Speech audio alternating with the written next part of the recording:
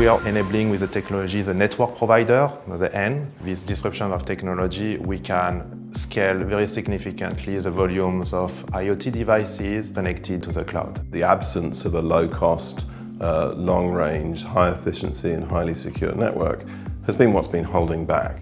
There is one thing that LoRa can create that no one else could create before, is to really create this IoT world where we'll collect massive data from communicating objects. And these objects that are communicating, they are communicating natively.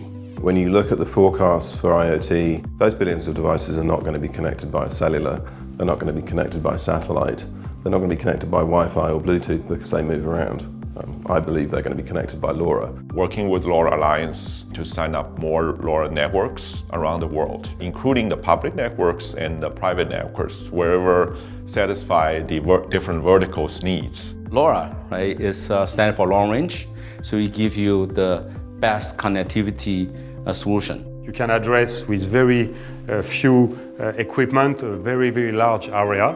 So few gateway will equip a city outdoor gateways, strand mounted between telephone poles on cable wires, or they could be mounted on building rooftops.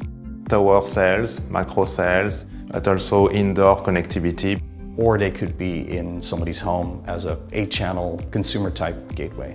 And it's a natural play to add LoRa into this uh, technology. We'll change the paradigm from the cellular network where we had very costly infrastructure. All this we can forget about it in LoRa the IoT and the cloud come hand in hand in terms of developing a total solution for the end customers. Also driving the lower cost and the time to implementation.